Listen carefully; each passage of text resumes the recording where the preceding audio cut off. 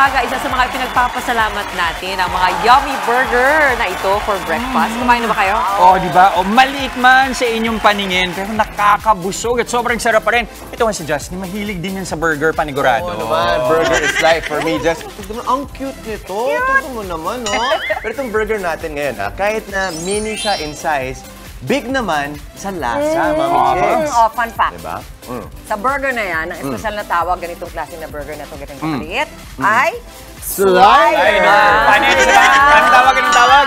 One more time, one more time. Ano tawag? Ano tawag? tawag? One, slider! Yan, uso sa Amerika, doon nag-start yan, di ba. Gretch? Oh, yes, Mami Chiki, around 1920s nga raw sumikat itong mga slider at sabi ng ilang food historian, eh sa White Castle Restaurant yan sa Kansas. Eh, bakit ba slider? Kasi sabi daw ng mga US Navy noon, sa sobrang greasy o dulas ng mga burger na ito, nagsasilay lang daw kapag kinakain. Parang ganun. Ah, slide Sarap, down ah. the throat. Ah. Parang ganyan, di ba? Ang galing. At parang ano, gusto ko talaga gumawa ng sarili kong sliders, Go! Mami Chicks. Ano na? Sige, gagawa tayo. Oh, Baba mo sige. yan? Actually, sige, ikaw na lang gumawa para sa akin. Turuan natin yung mga expert. Tawagin na natin Oh, para turuan tayo mag-assemble ng mini burgers, aka sliders. Tawagin na natin ang sibling tandem ni na Renan Mariano ng Burger Cups at Wati Mariano ng Walnut Treats. Good morning, Good mga morning! kapatid. Talagang magkapatid. Ah, magkapatid talaga sila? Hi, Good morning, Hi, good morning. Good morning. Good morning. Good morning. Okay, mga kailangan natin? Okay. Oo. Uh, for the sliders naman, so we have the patty. So homemade patties naman. ating Kasi wala kaya yatang nabibili. And then we have yung customized na buns kasi talagang maliit siya. No? So it's around 1.75 inch. Oh, wow. inches. Okay. So maliit lang talaga siya. Kasi we specially designed it para mas madali siyang kainin. Kasi yung target namin talaga sa events, more on pika-pika. No? So, so parang yung ah, selling point nga namin is while yung battle ngayon sa sa burgers ay palakihan. Parang kami dito tayo. Kayo palitan. Palitan ah. naman. Parang bite size. Okay yan, no? Para pagka may nagsabi, pa-burger ka naman. Ah, ito, ah. Matipid ka, di ba? Oo. Tama naman. Tapos O, magkano bite ba yung isang size. ganyan? Magkano? Actually, hindi kasi kami nagre-retail, no? So, more on sa events talaga kami. And then we also... Catering. Catering. Oo. Pero we accept naman yung mga bulk uh, bulk orders. So, meron lang kaming minimum ngayon na 8 dozens per uh, per order.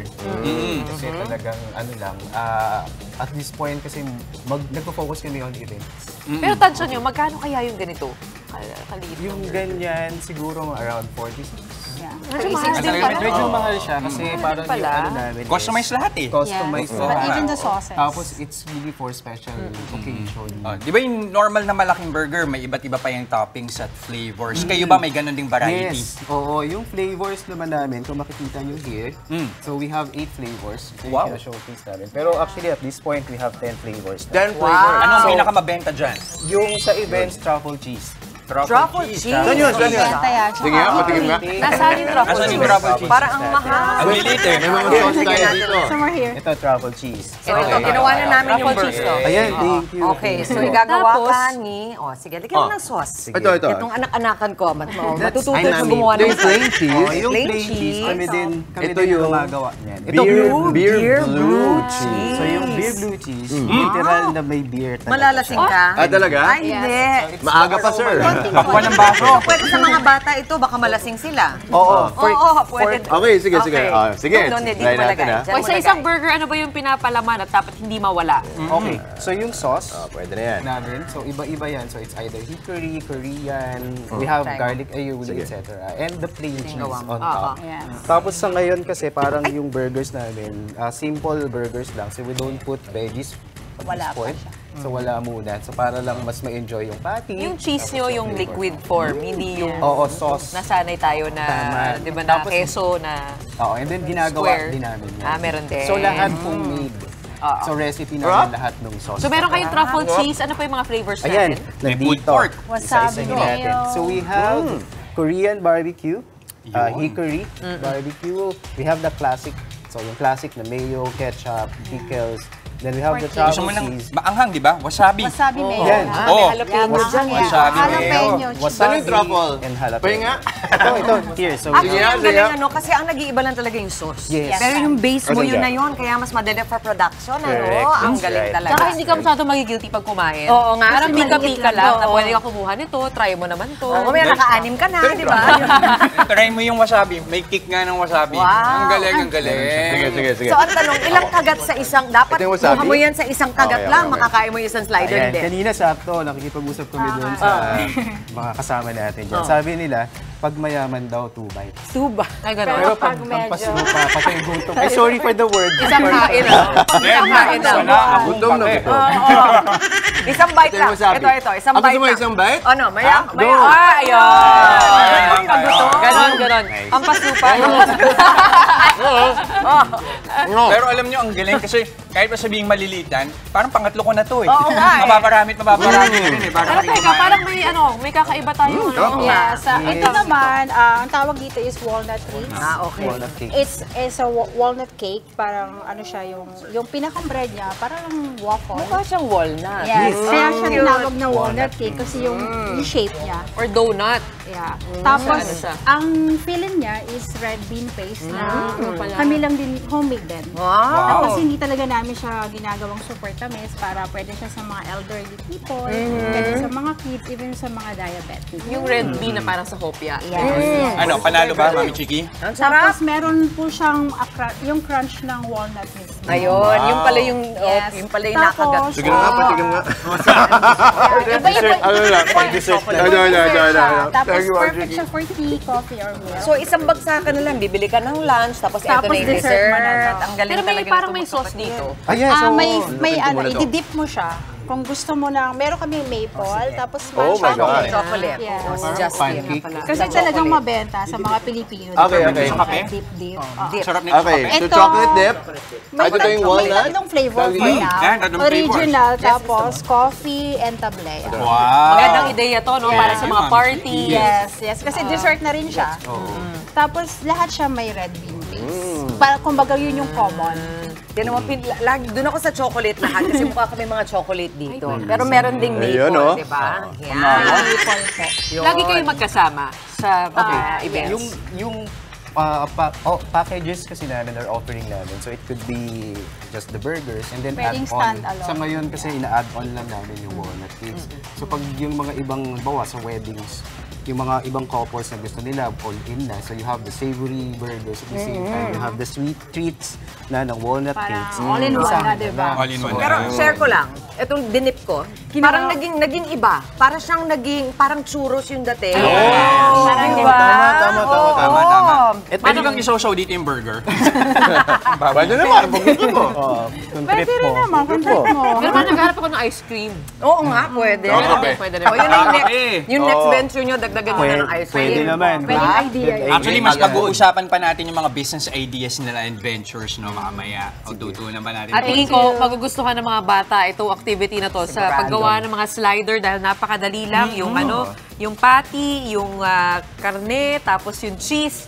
Eh talagang uh, mag-have fun ang ating mga kabataan. Ano? Patok sa mga events, ang finger food, di ba? Alam nyo yan. Kaya naman hit na hit yung mini burgers o sliders. Pati na rin yung mga walnut desserts na pinakita natin kanina. Ayan, di ba? Ito At para, at para ipakilala ang kanilang business, narito pa rin sina Renan at Wati Mariano ng Burger Cubs. At si Wati din, of course, ng Walnut Treats PH. Okay? It's one Wati lang. Si Wati lang talaga. Hi! O, ito Welcome na. back. Mamimili Welcome na back kami, sa magsha-shopping na Pa- kami. paano ba nagsimula yung business ninyo? Okay. Ah, yung yung Burger Cubs mini burgers actually con- conceptualize namin yan 2017 pa. And then uh, nag ano lang, parang nag-materialize lang siya ah, through the help of my girlfriend then na wife ko na ngayon and we actually launched this during our wedding. O, di ba? So yung, yung wedding yung wedding cocktails namin, isa sa mga cocktails food namin itong mini burger. Magandang that's- idea. Yes, that's the very first public appearance ng ano ng ah, mini burgers namin. So tuwing anniversary nyo, anniversary din ang negosyo Yun ninyo. na. Pero teka, anong hugot nun at bakit sa wedding nyo nagawa yun? May napag-awayan ba kayo? Hindi, wala naman. Actually, kasi yung design nga nito, parang gusto namin na bite-size, pika-pika. So, naisip namin na why not sa wedding namin i-launch? Since pika-pika. Di ba? Kaya so, kumuha kami ng ibang supplier, so nakatipid pa kami somehow. Yun, and then since 2019, we, we uh, parang we planned to have a store din sana. Pero hindi din siya nag-push through and then nag-decide kami na events na lang muna. Pero and then pandemic happened. So medyo isa kami sa mga tinamaan Oo. ng pandemic. Oh, I'll cut you off. Sorry ha. Meron bang standard size itong mga slider na to? Yung sa amin, ano yan, ah, yung supplier namin, we always make sure na it's within 1.75 inches to 2 inches. So yun kasi talaga yung target size namin. Okay. Oh, I see. Tama pa isang Not more than, Justin. oh, not more than that. Bakit ako lang? Maggaano kalaki o kaliit ba yung kinailangan yung puhunan nung sinimulan nyo to noong 2017? Nung nag-start kami siguro, say for 100 pieces na package, around 5,000. 5,000? Oh, medyo medyo pricey siya kasi customized lahat. Mm-mm. And then we also of course we also need to consider the, the manpower, etc. And yung sa manpower siguro hindi din kasi namin masyadong tinitipid kasi as much as possible gusto namin na Maayos ang service. Maayos ang service. Ah, nag-assist sila properly. At the same time kasi parang yung ah, isa din sa inspiration namin and motivation namin sa business is that we're able to help. Kasi Okay. yung mga assistant namin dito, sila yung mga working students. Ngayon, karamihan sa kanila... si- Social entrepreneur. Oo, yung sa kanila, karamihan mga ano yan, mga seaman, mga, Oo. marine engineering graduates. So habang naghihintay sila, hindi pa sila Ito muna. sa barko. At least nakakatulong kami. At the same Tama, time, natutulong. Alam mo, bagay ito sa mga train station, sa mga ano, Ha? sakayan, Ay, oo nga. oo. pantalan. Pero ano bang plano nyo ngayon? Halimbawa, puro kayo events ngayon, mabenta sa events. Pero ano ba ang goal ninyo para sa inyong negosyo? Yung sa events, definitely will continue with uh, this industry, no? Ang ginagawa lang namin is nag-expand kami. Like, from the beef patties, so ngayon meron kaming chicken, meron din kaming pulled pork. Chicken Alfredo. Oh, yung Korean barbecue. Tapos meron kaming pulled pork din. And then, of course, yung walnut cakes pa din, Yan. tutuloy namin siya. And then siguro yung nasa roadmap ng business namin is uh, to eventually have a cafe, Yun, store na din, perfect. sana. And continue to cater to special occasions. Pero nakakatuwa, no? Kasi yung patty ninyo, parang crunchy ng konti. And alam ko, pagka kumakain ako ng burger, ayoko yung lusaw na burger. eh. Ito, paano nyo napapanatili yung freshness nito? Yung yan, yung freshness kasi, uh, to be honest, pagka may events kami, talagang on-site cooking din. Okay, so since may konti lang tayong restriction here in the studio, hindi natin siya magawa. Pero that's our selling point also. So we cook on-site. Walnut naman. Oo. Ito naman, ah, nag-start yung idea, siya din yung nakaisip nun. Kasi they, they went to Korea. So kasi ano to eh, um, yung inspired Oo. ng Korean street Ito. treats. Yun. Yes. yun. Ah. Tapos ang naging ano na lang namin, in-inject na lang yung Filipino taste. Flavors. Yeah, Okay. Filipino Sige, taste. challenge kita kasi nandiyan na yung, bi- yung coffee, um, bean, and... Tablea. Tablea. Ano yung next flavor na gagawin? Ah, since malapit na yung Christmas, so ube queso. wow, nice! Ay, puso-puso sa atin yun. Malakas Very yan good. kasi nung nag-bazaar kami two years ago, mabenta. Ah, Balik ka sahan dito, ah, namin pag yan. meron Talagang nag-enjoy kami Oo. sa ano Oo. sa ating ah, mga fun treats, sliders at walnuts. Maraming maraming salamat. Mga kapatid, Jess De Los Santos po, maging maalam at may pakialam sa mga napapanahong balita sa bansa. Tumutok at mag-subscribe sa News 5 social media pages.